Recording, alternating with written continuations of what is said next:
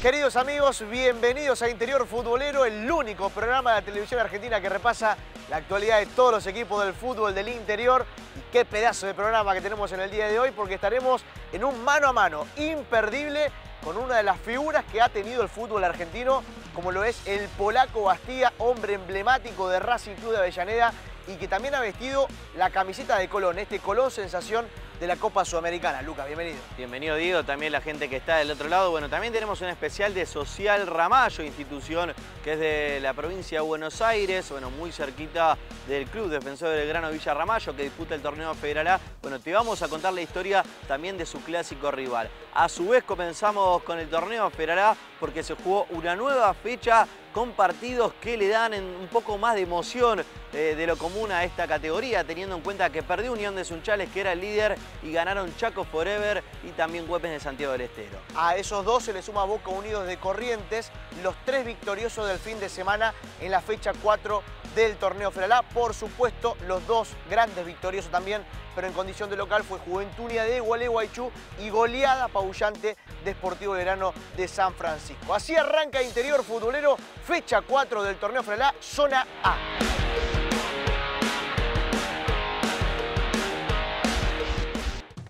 Fecha 4 del torneo Federal A. Arrancamos por la zona 1 en el Hermanos Núñez en Concepción del Uruguay, una especie de clásico por cercanía geográfica entre el Lobo Uruguayense Gimnasia local y el Depro dirigido por Hernán Norcellet, un histórico junto a su hermano Catriel del Lobo Uruguayense. La primera la tenía Johan Laureiro, daba en el poste, quería cumplir con la ley del ex, el hombre de Villa Elisa Entre Ríos y luego lo tenía Patricio Iván Valente de cabeza, pero se lucía el arquero Martín Góngora, el uruguayo experimentado, histórico de gimnasia, se quedaba con el cabezazo con el remate, luego lo tuvo Luciano Félix Leguizamón en el final, no pasaron del cero en el Núñez, no se sacaron ventajas, ambos equipos tienen cuatro puntos en la zona.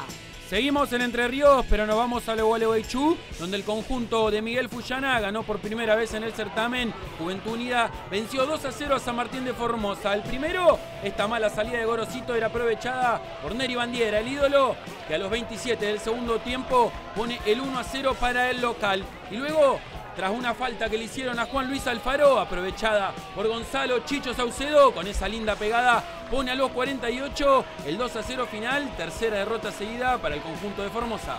Gran remate del Chicho Saucedo, la especialidad de la casa, un hombre experimentado con una buena pelota parada y un buen ejecutante el correntino para poner el 2 a 0 de Juventud. Gol de la bestia, David Nelson Romero, que aparecía el ex hombre de Mitre, el santiagueño de Frías, para poner el 1 a 0 de Güemes, luego comandó la contra para el equipo gaucho, que iba a terminar definiendo, marcando el 2 a 0 Luis Leguizamón, otro santiagueño, el ex hombre de Vélez de San Ramón, el delantero, marcaba el 2 a 0 para el equipo gaucho, el equipo de Pablo Martel, que con este triunfo se trepa a la cima de la zona, llega a 7 unidades. Hubo tiempo para el descuento. Apareció Nahuel Navalón.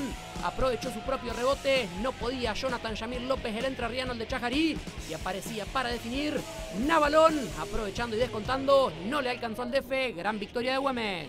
En Sunchales, uno de los triunfos más importantes del fin de semana fue el de Boca Unido 2 a 0 frente a Unión, que le sacó el invicto el primero. Combinación del Tony Medina por izquierda, iba a mandar el centro atrás, lo tira recto, le aparece José el chino Vizcarra para poner el 1 a 0 a los 36. Empieza el show de las rojas, Ciuto, porque acá hay un codazo de Pruso, imprudente, realmente de muy mala fe fue, vio la roja, muy bien el árbitro Francisco Acosta.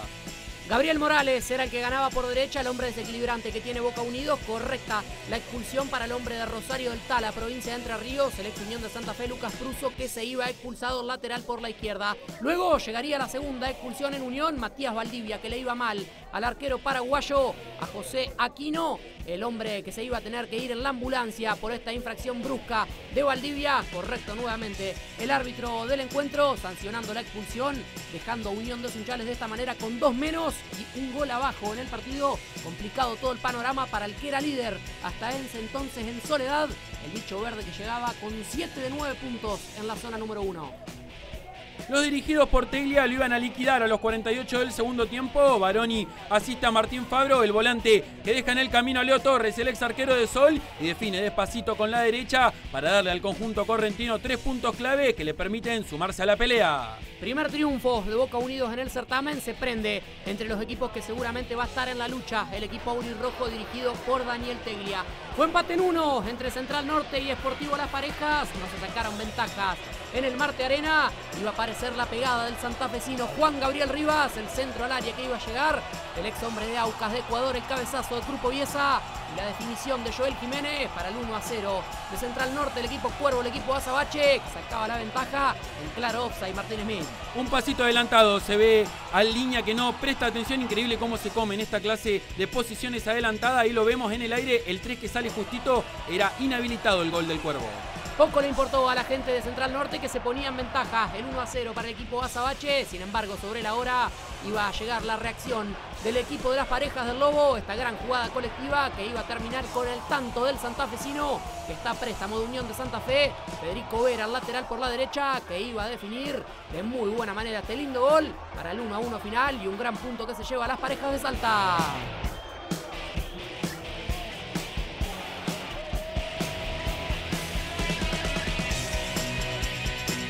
Por primera vez ganó Sportivo Belgrano y lo hizo de una manera bárbara. De local 3 a 0 frente a Douglas High. El primer tanto del partido. Mata Liga de cabeza cuando se moría el primer tiempo. Luego del centro de Juan Pablo Francia aparece el pelado para fulminar de cabeza a Enricot que nada podía hacer pese a la volada y ponía el 1 a 0. Luego empezaban las incidencias porque Vijande salía lejos. Ciuto cometía infracción y comparto con el árbitro con la roja muy dura la entrada del arquero. Totalmente a destiempo Vijande, último recurso también, se iba expulsado el arquero de la Verde, el ex hombre de San Lorenzo Alem, que fue pedido por Domisi para este torneo y llegó como refuerzo a la Verde de San Francisco. Luego lo iba a liquidar la Verde, la mala salida del arquero Enricot y la definición solo se fue en su Avaro, el chico de la casa que tiene mucho futuro, mucha proyección y definió con el arco a su merced para marcar el 2 a 0 y empezar a liquidar el pleito, liquidar la historia con un hombre menos para Sportivo Belgrano San Francisco, emulando aquel gol del Piti Martínez en la final de Madrid entre Boca y River, muy parecido. Iba a haber tiempo para más porque el juez Santiago Asensi veía este polémico penal y ahora aprovechaba y ponía el 3 a 0 final para la de Domici que empiezan a sumar de a 3. Dobletes para el pibe Avaro, sus primeros dos goles en primera división, en este caso con la camiseta de la Verde de San Francisco, el joven canterano. Fue victoria, punta y triunfo para Chaco Forever el negro, que ganó en Santa Inés ante el siempre complicado Crucero del Norte, difícil ganar en esta cancha en Misiones, sacó la ventaja. El equipo Cuervo, en la primera pedían penal, pero era clara mano del hombre de Crucero del Norte, bien por el árbitro. En esta ocasión, Nelson Matías Bejas, que no sancionaba penal y llegaría a la primera alegría de la jornada para el equipo visitante, para el equipo chaqueño. Manuel Urquiza, el ex hombre de Alvarado en contra, luego del remate, el despeje del arquero Marcos Arguello, quedaba en el defensor y ponía el 1 a 0 para el negro. Y en esta me parece que no hay dudas, Nelson Matías Beja cobra penal en el área, penal para el Sachamagno. Bellone cometía la infracción, hay una mano clarita y como vos decías, Ciuto, Diego el Sacha Magno, fuerte y al medio para liquidar y darle la punta al conjunto del Beto Acosta. El salteño Magno, el ex central norte que definía, gran ejecutante de penales para darle el 2 a 0 al equipo del Beto Acosta, el salteño también, para prenderse en la cima. También tiene 7 Unión de Sunchales, 7 para Güemes, los tres líderes. 6 tiene Central Norte, 5 Boca Unidos y Juventud Unida de Gualeguaychú. Boca Unido Deportivo Belgrano y Chaco Forever Unión de Sunchales, los destacados.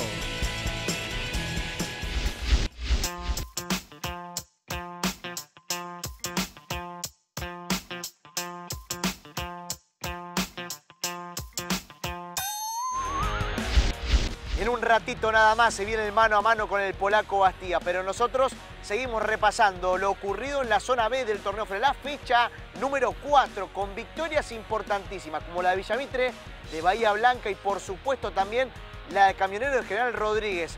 Dos grandes victorias, como la de Sol de Mayo de Viedma en condición de visitante frente a Círculo Deportivo del comandante Nicanor Tamendi y la de Cipoletti frente a Deportivo Madrid.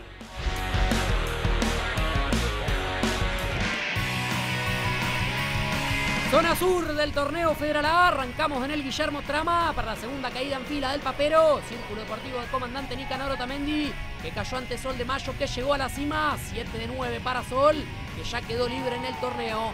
El Poke Valdebenito la metía en el área el ex hombre de Estudiantes de La Plata y llegaba al pipa Juan Manuel Elordi, el hombre de Saladillo, provincia de Buenos Aires, para marcar el 1 a 0 del equipo viedmense, el equipo de Del Cero, el equipo visitante, que se ponía en ventaja.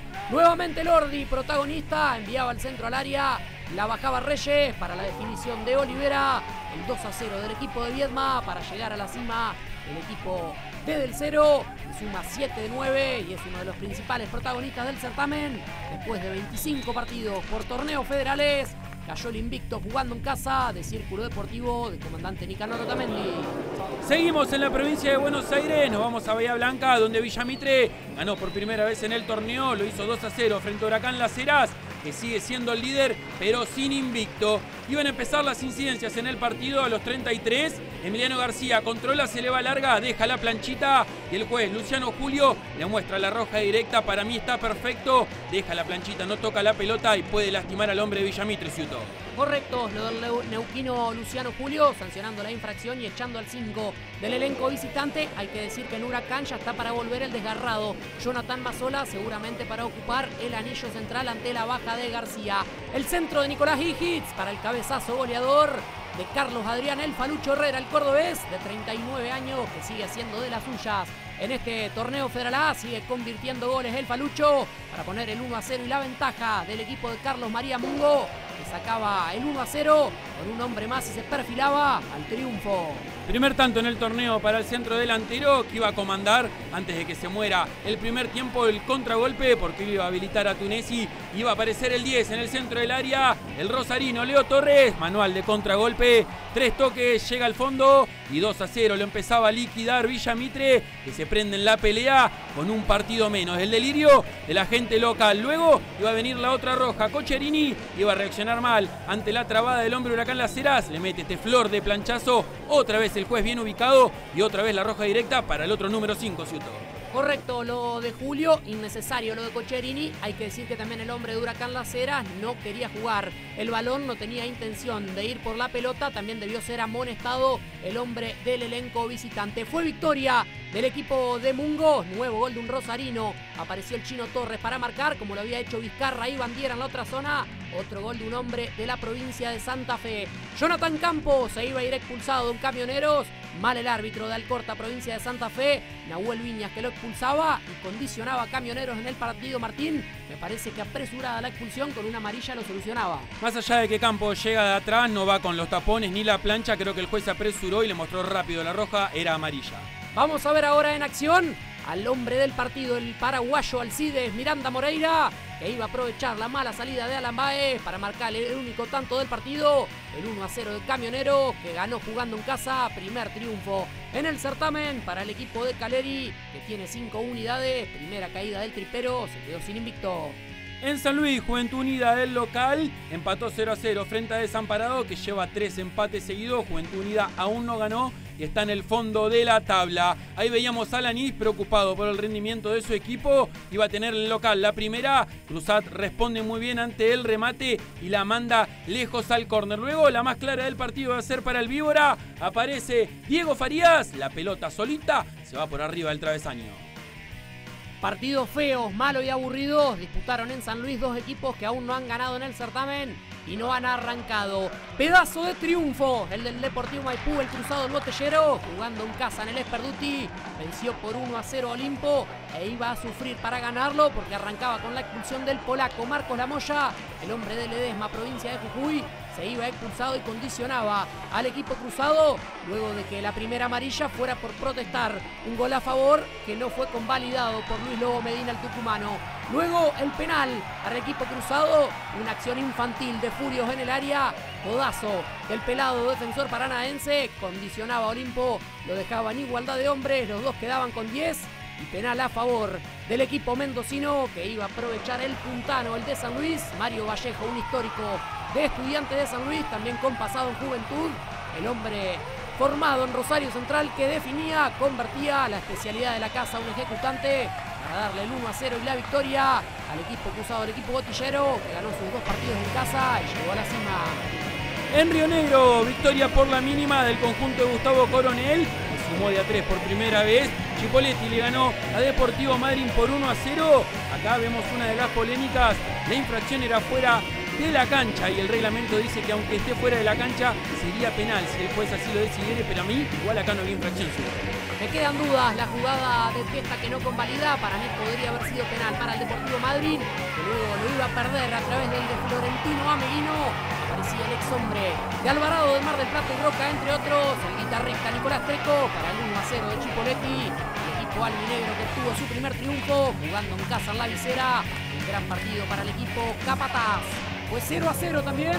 El empate de estudiantes de San Luis, jugando en condición de visitante ante Ferro de Pico, lo tuvo el Pulpo González con ese remate, luego nuevamente remataba el Pulpo, se lucía Montoya para el 0 a 0 lunes por la noche, se sacaron ventajas en el Coloso Barrio Talleres. Sol de Mayo, Huracán La Heras y Maipú tienen 7, Chipoletti tiene 6, Villamitre, Sancinena tiene 5, al igual que Camionero. Pendiente está la resolución del partido del Deportivo Madrid que reclamó los puntos ante Camioneros y puede llegar a seis unidades del equipo aurinegro. Olimpo recibe a Chipoletti, el destacado de la fecha. También Sol de Mayo hace las veces de local ante Camioneros. Huracán Maipú.